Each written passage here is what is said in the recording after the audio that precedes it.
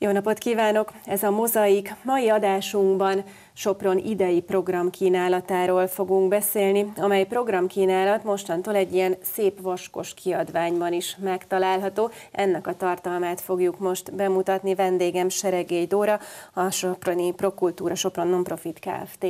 marketing igazgatója. Szervusz, köszöntelek! Szervusz, köszöntelek én is, köszönöm a lehetőséget. Hát mi mindent tartalmaz ez a kiadvány, tényleg elég vaskos, és látjuk, hogy hónapról hónapra rengeteg eseményt tartalmaz. A kiadványt Sopron Régió Turisztikai Központ Nonprofit Kft. adta ki, ismertem nevén a TDM, egy nagyon-nagyon jó kezdeményezésnek tartom azt, hogy a város rendelkezik egy összefoglaló eseménynaptárral. Egyrészt a soproni lakosság számára egy teljes éves áttekintést nyújt a városban és környékén lévő programokról, a másik pedig, hogy a külföldi és a hazai turisták számára a szállodák már tudják, hogy mi az, amit kínálhatnak az ideérkező vendégek számára. Az idei évben még annyi kiemelendő lenne ezzel az eseménynaptárral kapcsolatban, hogy igyekeztünk a legjelentősebb kulturális programokat kínáló intézményekkel egyeztetni, hogy ne legyenek programüt, ha lehetséges, ne legyenek programütközések. A, a Prokultúra Sopron Nonprofit Kft. persze számos programmal van jelen itt ebben a kiadványban. Így van, az egyik, egyik húzó ö, szervezet nyilván a Prokultúra, amely egyrészt városi, másrészt pedig a Liszt Központ, illetve hát a Petőfi Színhez programjait is szervez, illetve ezekért felel. Melyeket emelnéd ki elsősorban? Igen, ö- ezek közül, amit nem említettél, hadd mondjam a Fertőrákosi Kőfejtő és Barlang Színházat, amely has, ö, hasonló tematikával ebben az évben is ö, ö, gyakorlatilag júniustól szeptemberig kínál programokat. A, a Fertőrákosi Kőfejtő és Barlangszínház, hogy a nevében is benne van, kétfelé bontható programilag, tematikailag. Az egyik maga a kőfejtő, hiszen ide várjuk a családokat, a kirándulókat, a nyugdíjas csoportokat, a diákcsoportokat a kőfejtő részlátogatására, a másik része pedig maga a barlangszínházi program. A Barlang Színházban egy különleges lehetőség lesz ettől az évtől fogva, öt órai hangoló, barlangoló koncert címen, ami gyakorlatilag egy kőfejtő belépő jegyen látogatható nyári koncertsorozat lesz, Doknányi nevével fémjelezve. Ez a név ez megjelenik abban is, hogy Doknányi bérletet lehet vásárolni erre a a tíz alkalomra. Itt Liszt, Schubert, Haydn, Doknányi Szerenád és számos programot kínálunk a zenekedvelők számára.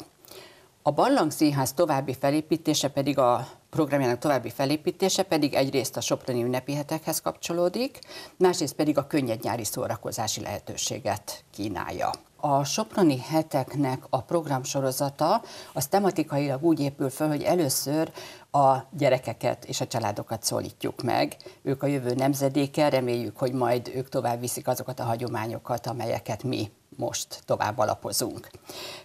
Így a Barlang Színházban a Tündér Fesztivál mint Soproni ünnepi hetek program keretében először is a, az Experience Együttesre van című Ludas Matyi feldolgozásával érkezik.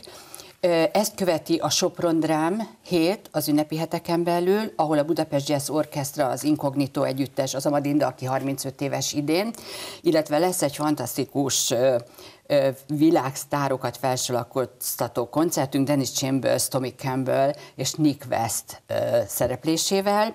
Aztán az ünnepi hetek keretében a Hét Táncfest következik, majd a szabadtéri programoknál beszélünk még a, a városi programokról. A Barlang Színházhoz kapcsolódóan Bizé Kármen a Szaranszki Nemzeti Balett, az orosz balett bemutatkozik, és a Csíkzenekar, mint folk hoz kapcsolható együttes, szintén a Hét keretében. A Sopron Klasszik hetében két operát láthatunk, az egyik az a Puccini Bohém élet olasz nyelven, a másik pedig Mozart Figaro házasság, ez magyar nyelven, de német felirattal fog megjelenni. De hogy én itt néztem ebben a programkínálatban, a könnyedebb műfajok is képviseltetik magukat, melyek lesznek ezek? Nagyon-nagyon várjuk már Désnemes valahol Európában című musicalt. Ez a Soproni Petőfi Színház előadásában kerül színre és érdekessége, hogy már meg is hirdette a színház a felvételi lehetőséget. Nagyon sok soproni fiatalt várunk ebbe az előadásba. A nézők ismerhetik a híres TV, tehát filmet magát, és így, így nagyon érdekes lesz majd ezt színdarabban látni. Budapest bár, száztagú cigányzenekar és Zorán lesz még ebben a könnyed nyári szórakozás program sorozatban. Hát akkor azt hiszem, hogy maga a Barlang Színház is igen színes, sokszínű programokat kínál, de maradva a Soproni ünnepi heteknél, ugye a városban, Sopronban is számos, rengeteg programot kínáltok ezzel kapcsolatban. Ezek közül mit emelnél ki? Hát kiemelném először is a a Tündérfesztivált, amely most már hagyományosan kerül megrendezésre. Tavaly új helyszíre költözött az Erzsébet kertbe, úgyhogy idén is maradunk ott, mert remek terepnek bizonyult, viszont kétnapos rendezvény mind a két napja ezen a helyszínen kerül, vagy lesz. És ezen a napon, ugye ez 8 9 pünköst időszaka, és június 8-án pedig a Sopron Zenél, szintén hagyományosnak mondható fesztivált rendezünk meg, utcazene fesztiválnak is nevezhetjük. Nagyon várják mindig a fiatalok, a tehetségek. Hoffer Péter irányításával nekik ez egy bemutatkozási lehetőség. Ezt követi a Sopron Drám hete, amely az, néhány gondolatban hadd mondjak el, hogy ez, említetted a világsztárokat. Hát ha a világsztárok előtt még a Budapest Jazz Orchestra Ella 100 című műsorával neves fellépőkkel jelentkezik, de aztán 14-én pénteken júniusban megérkezik Dennis Chambers, és elindulnak a Soprondrám hetében az úgynevezett mesterkurzusok, workshopok. Mert ugyanis az itt ellátogató világsztárok nem csak előadást tartanak, hanem a ide, szintén ide érkező, illetve a helyben lévő zeneiskolások, zenei főiskolára, egyetemre járó hallgatókat várjuk, akik számára én azt gondolom, hogy soha vissza nem hozható élményt nyújt az, hogy ilyen világsztárokat hallhatnak, tanítják őket, sőt lehet, hogy akár együtt is zenélhetnek majd. Ez ugye tavaly is már volt, és nagyon népszerű volt akkor is, úgyhogy gondolom igen, ezért folytatjátok. Igen, igen. Horváth Kornél a művészeti vezetője ennek a hétnek, és ő az, aki, aki számos világsztárt csábít ide a Feltörákosi színpadra, illetve Sopron városába. Ezt követően ugye az Inkognitó koncert lesz a Barlang Színházban, ami óriási bulit ígér, egy nagyon látványos show, várható. Folytatva a workshopokat még Gordon Stout, Tommy Campbell maga is tart workshopokat, illetve ami különösen kiemelkedő lesz, az a Dennis Chambers és Tommy Campbell most először, tehát zenetörténeti pillanatnak is tekinthetjük, tehát most először lépnek együtt színpadra, és újdonság, ez még a programfüzetben nem szerepel, ugyanis most kaptuk meg az információt, hogy elfogadta a meghívásunkat a Nick West Band, hát érdemes rákeresni. Én azt gondolom, hogy soha vissza nem térő élmény lesz ez az előadás. Aztán szabadtéri programokra Igen. kell még áttérnünk, hogy ezek mindig nagyon népszerűek, gondoljunk csak a borúnynepre, és idén lesz egy Sopron Piknik elnevezésű szabadtéri program is, ami ugye a piknik 30. évfordulója alkalmából egy ilyen ünnepi rendezvénynek is tekinthető. A szabadtéri rendezvényeknél a hát Héttáncfest keretében ugye a sopraniak már nagyon várják, de kapok telefonokat vidékről is, hogy mikor lesz ez a rendezvény, ez a bizonyos Folkfest Sipos Ferenc művészeti vezető irányításával. Tavaly nagyon jól sikerült az úgynevezett Soprondó, amikor körbe táncoltuk a főteret. Egy hasonlót szeretnénk most kint a Várkerületen, ahol minden táncegyüttes, aki Sopronban él, virágzik, megjelenhet, és egy közös örömtáncot lejtünk, és ezt követően a Folkfest.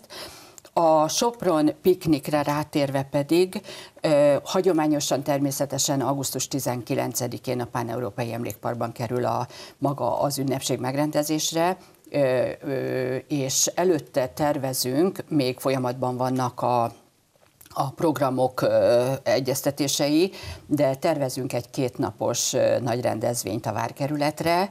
Remélem, hogy hamarosan kijövünk ennek a, a program végleges program ajánlatával, és, és reméljük, hogy nagy előadót tudunk ide majd elhozni. És méltóképpen ünnepelhetjük Abszolút, a méltóképpen. piknik Egyébként maga a piknik az egész évet átfogja, hiszen a vasútmodell kiállítással, ami itt a Lisz központban került megrendezésre, azzal nyitottunk, és az egész évet átfogó nagy rendezvénysorozat lesz a piknikhez kapcsolódóan. Aztán természetesen szerepel a programfüzetben a Soproni Petőfi Színház számos előadása is az új évadról, mit lehet tudni. A Remény évada címet kapta ez az évad. Lehár Ferenc vígözvegy egy kicsit ettől eltér, bár a, a lehet a remény, hogy az öröm kifejeződik ehhez kapcsolni. A Barlang Színházban németül megy ez az előadás, és bérletbe behozzuk a, a színház színpadára is. Itt meg kell említenem Füredi Nikolaj Dózlai Sándor nevét, mint kiemelkedő résztvevőit ennek a darabnak. Aztán következik Pergünt, Gál Tamással, az üzenet ennek a darabnak az, hogy nem lehet csak félig megélni az életet reményévada. Aztán Zenta 1697, ez a ö, rockopera, ez már Zentán ö, előadásra került 2000 tomboló ember előtt, reméljük, hogy hasonló sikert arat itt a színházban is.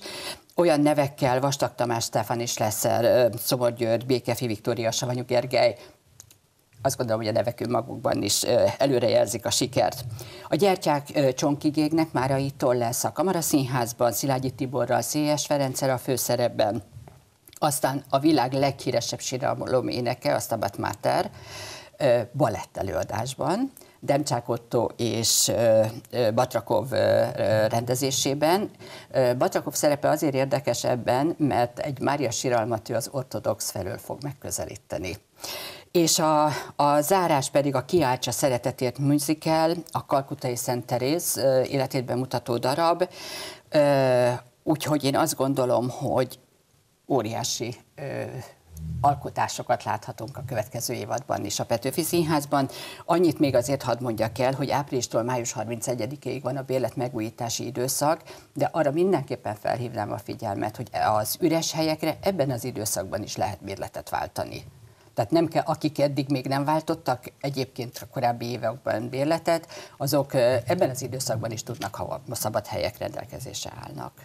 És ha már itt tartunk, akkor nagyon fontos megemlíteni, hiszen minden évben visszatérünk egy olyan problémára, ami sajnos újra és újra felüti a fejét, hogy csak és kizárólag megbízható helyen váltsanak jegyet az érdeklődők, akár a Barlang Színház, vagy akár más rendezvényekre is, hiszen ugye előfordultak már ezzel kapcsolatban csalások, úgyhogy szerintem hívjuk fel erre a ezt nagyon-nagyon megköszönöm, mert tényleg nagyon sok csalódott ember, akik nem a hivatalos, vagy a Petőfi Színház, vagy a, a, a jegy.hu portálon váltották meg a jegyeket, sokszor két-háromszorosát fizették ki, és volt olyan eset, hogy meg sem kapta az illető a jegyet, amit megrendelt. Érdemes tehát akár személyesen bejönni a jegyirodába. Személyesen, online, de a rendes, hivatalos felületeken. Ezt köszönöm, hogy erre fölhívjuk a nézők figyelmét.